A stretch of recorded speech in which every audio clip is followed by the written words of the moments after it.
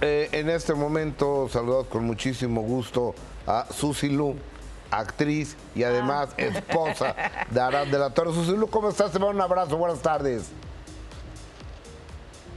Ay, Susi Ay, no te Lu, aquí te... Hola, ¿me oyes? Buenas tardes. Hola, ya te oigo, es que es como que Bien. se cortó. ¿Cómo estás, Susi Lu? Buenas tardes, bienvenida. Oye, ¿cómo estás viendo a tu mareado? Bueno, de bueno. ¿Cómo ves a Arad? Yo creo que estamos teniendo problemas con... Sí, nos volvemos a Con la conectar con comunicación. Él. que sí. Ah, ya. Te oigo medio cortado. Ok, Ok. va- vamos a reintentarlo para, para limpiarle el, el Ah, enlace. ya te oigo bien, ¿eh? Ah, ok, ya, ok. O lo, o lo intentamos. A ver, vamos a intentarlo. Eh, ¿Me oyes? Así, no me muevo. Sí, sí te oigo. Susilu, buenas tardes, bienvenida. ¿Cómo ves a Hola. tu mareado? ¿Cómo veo qué? A tu marido. Ay, la verdad, lo veo que está jugando muy bien. Estoy eh, muy orgullosa de él porque ha demostrado eh, que fue a eso, a jugar con estrategia, pero también con el corazón. Y es un hombre co- que está dando contenido, ¿no? Y contenido interesante y con valores. Está dando entretenimiento, que es yo creo que de lo que se trata ese programa. Claro. Susi, te manda un beso, Lalo, porque justamente... ¿Ya me oyen? Sí, ahí te escuchamos perfecto. ¿Tú nos escuchas? Ah, Ahí Sí. yo creo que sí. Eh, justamente él es una persona que ya tiene experiencia dentro de este reality, que sabe que el poder de la palabra pesa mucho. Y te quiero preguntar, ¿qué opinas del complot que está realizando o orquestando Adrián Marcelo en contra de él, en donde hasta le está deseando que ya se quede sin chamba y que mejor Nicola Porchela ocupe su lugar dentro del matutino en el que se encuentra? Mira, yo te voy a decir algo. Yo me había mantenido en que esto es un juego, este, así lo había tomado, no pasa nada.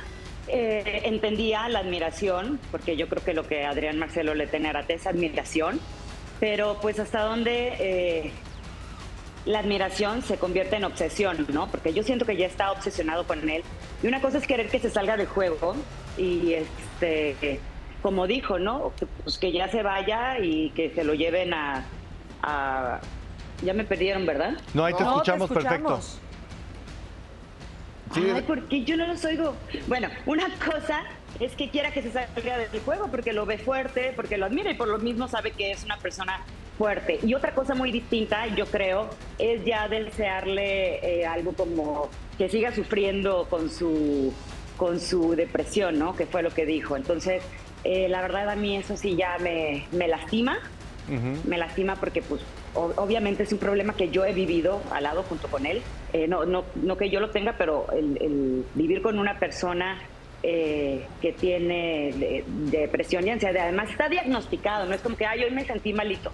Y jugar con esos temas o, o- o querer que alguien sufra, ya, ya deja tú con qué. Desear que alguien sufra, si estamos Claro. dentro de un juego, entonces, ¿hasta dónde se rebasa la línea del juego? Y, y- y esto ya se me hace como un poquito más. Ay, sí, mi Susilú, te saluda Adis. Y bueno, aquí estamos con nuestro gallo Arad. Y quiero preguntarte, no sé qué tan difícil fue para ti durante esta explosión de hace unos días, cuando ves a tu esposo, como todos lo vimos, diciendo no puedo más, estoy a punto de estallar, y luego todavía la gente seguía ahí desgañitándose, poniendo una vez más a prueba su tolerancia, su calma. Y tú, sin poderlo ir a abrazar, a calmar, ¿cómo fue para ti ese momento? Te digo que creo que es la primera vez que me sentí desesperada. Me, yo, yo no sabía lo que estaba pasando y de repente me empezaron a llamar y, me- y yo todavía les decía, no se va a salir, no, no se va a ir, yo lo conozco. Ok. Y de repente fue tanto la insistencia que me empecé a sentir muy desesperada, a la producción, le dije, oye, dime cómo puedo ayudar para estabilizar, porque a mí lo que me preocupa es su estabilidad emocional. Claro. O sea, obviamente no quiero que salga, pero si las cosas están tan terribles, quiero saber qué está pasando, Claro. cómo le ayudo a estabilizar. Y bueno, ya me calmaron, todo resultó bien. Al final ya todos están abrazados y besándose en esta casa muy amorosa. Y este, pero, pero sí, la verdad sí me desesperé. Eh, yo creo que se sintió como eh, del pleito de la noche anterior. O sea, fue algo, eh, yo siento agresivo, ¿no? Entonces, es, esto es lo que a él Lo menos. lo desesperó. Oye, Sí. quiero preguntarte también de estas personas que están en el encierro, ¿con quién dirías, así como esposa que eres de Arad, con esta, esta persona nunca me la traigas a la casa, please? Sé que es un ¿Me, lo juego, tiene que pero- traer a, ¿Me tiene que traer a alguien? Me encanta su equipo. Eh, me encanta su equipo. Todos son eh, muy bienvenidos en mi casa. Este, y la verdad es que yo no sé ya fuera del juego qué vaya a pasar, porque cual que aquí les hago yo la fiesta de bienvenida. Pero ah, no sé si tal vez, eh, te digo, se rebasen a veces cosas del juego a la vida real. Eso ahí ya hay gente como que me costaría un poquito de trabajo. Ok.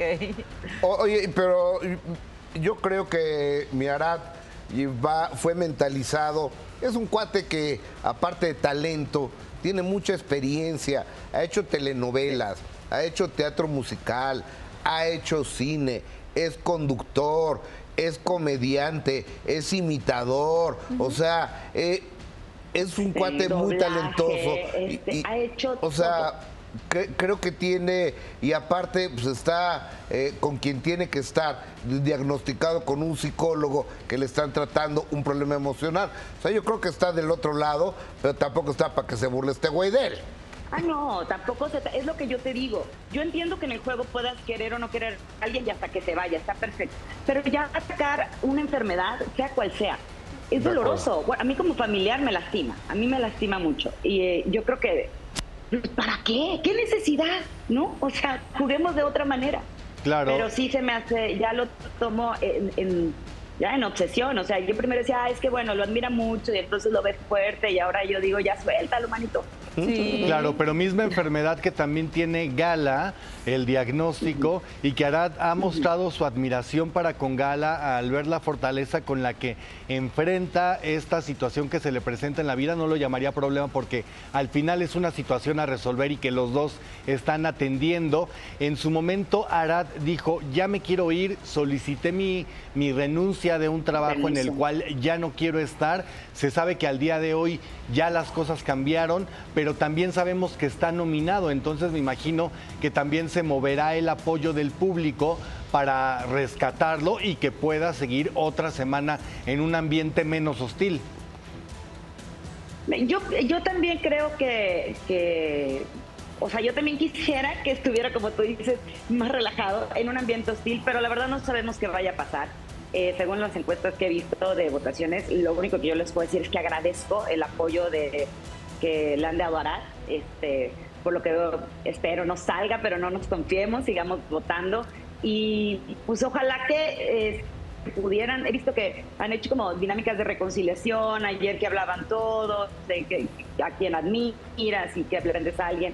Entonces esperemos que sí se calmen un poquito las aguas, pero yo veo ya esto como una guerra de cuarto a cuarto, ¿no? Ya, ya, digo, ¿y dónde está el entretenimiento? Eso, por ejemplo, eso es lo que tiene el eh, cuarto mar.